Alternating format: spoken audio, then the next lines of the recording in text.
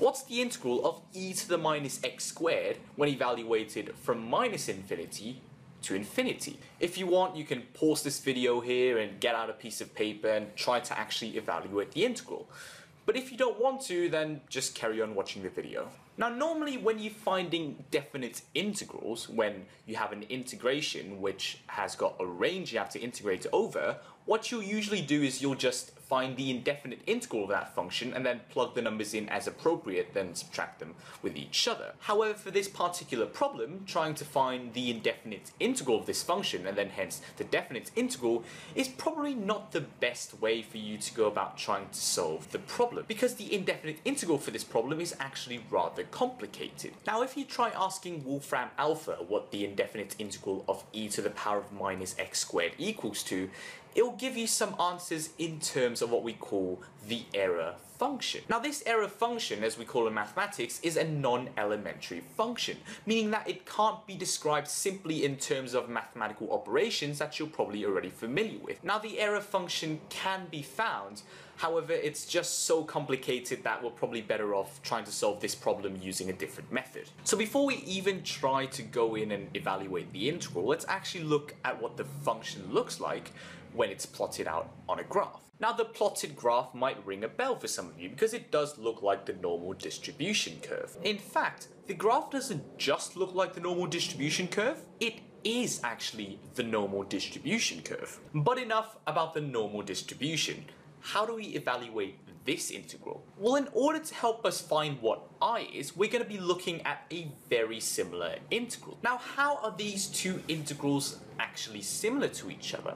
Well, let's carefully look at this particular integral here. Now, look at this particular function, e to the power of minus x squared plus y squared. You can rewrite this top bit as e to the power of minus x squared minus y squared, and because of indices rule, you can actually split this into e to the power of minus x squared times e to the power of minus y squared. Now let's look at the first integral, which is with respect to y. And because it's with respect to y, this bit, the e to the power of minus x squared bit, is not actually going to affect the integral in any way because it's with respect to x. And so we might as well just take this bit as a constant and take it outside the integral.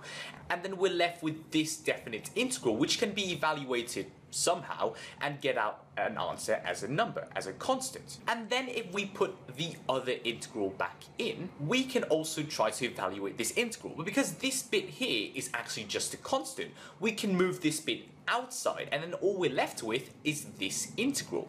And so what we have earlier now just reduces to two integrals multiplying with each other.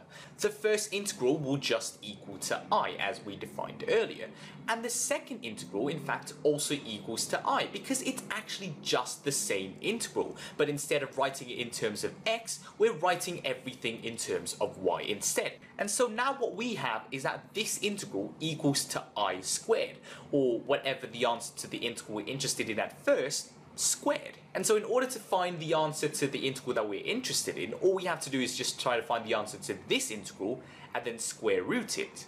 But what's the integral of this function? It looks much more complicated. Why am I bringing this up? Well, first let's actually try to see how the function looks like. If I plot it out, you'll get a 3D curve.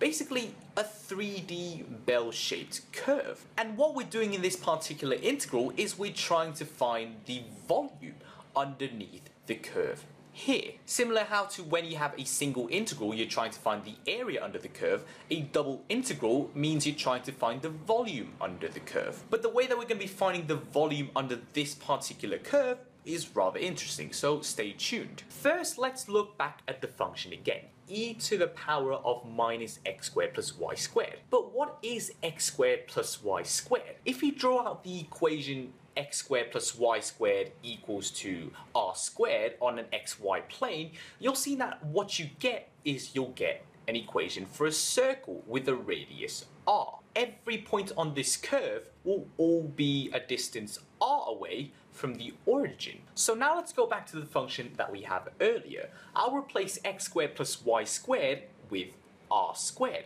And now we have a function that looks much more interesting. Instead of having a function which just depends on x and y, we now have a function which instead depends on r, which is just the distance that the point is away from the z-axis. And with the equation in this form, we can see that this graph actually has got some sort of a radial symmetry. You can rotate this graph, however, about the z-axis and it will still look the same. And this particular property will help us a lot when trying to find the volume under this graph. So well, how can we actually find the volume under this particular graph? Well, what we can do is we can try to break this volume down into much simpler shapes which we can actually work with. And we should try to pick shapes which also have this sort of radial symmetry similar to the graph that we already have. So let's pick cylinders, or more specifically hollow cylinders or just tubes. So what we can try to do is we can try to fit these tubes underneath the graph within the volume that we're interested in. And then we can try to find the volume of these individual tubes, sum them all up, and then be able to get the volume that we're interested in. But using tubes which are too thick will leave these particular volumes uncovered. So what we need to do in order to get a proper accurate answer is to use tubes with really, really thin walls. And we'd need lots of these. In fact, for us to be able to find this particular volume accurately, we need an infinite number of tubes whose thickness is infinitesimally small. So now let's say underneath the graph we have an infinite number of concentric tubes, each with radii varying from zero all the way to infinity. So now what we can do is we can try to find the volume of these individual tubes and then hence be able to find the volume of the entire thing. So let's just take out an individual tube and try to find its volume. But let's make things a bit simpler.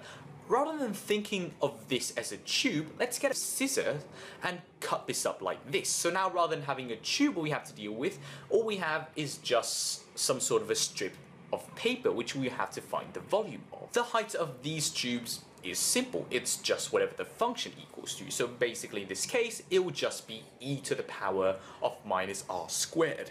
Now the length of this volume. Well, because this volume before used to be a cylinder, the length of this volume would just be whatever the circumference of that particular cylinder is. So for this case, it will just be 2 pi r. Now what about the thickness of this particular volume? Well, let's go back to the picture of the tube in beginning. The thickness of the tube will just equal to whatever this length is minus whatever this length is.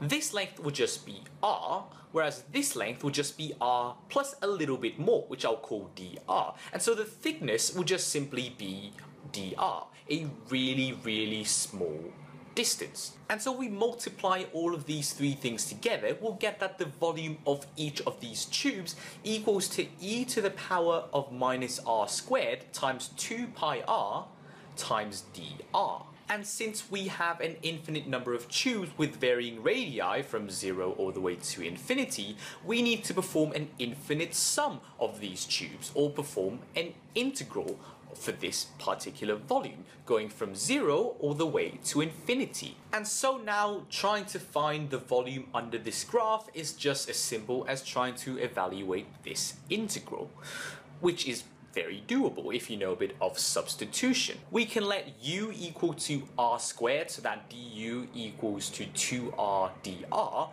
substitute things as appropriate, cancel a few things out, then get an integral which can be evaluated, and then find the answer to this integral. And if we do all this process, we'll get the answer out of pi. And so now we have the answer to the volume underneath this graph, which means we have the answer to this integral. And because this integral equals to i squared, we can finally find what i equals to, which is just the square root of pi.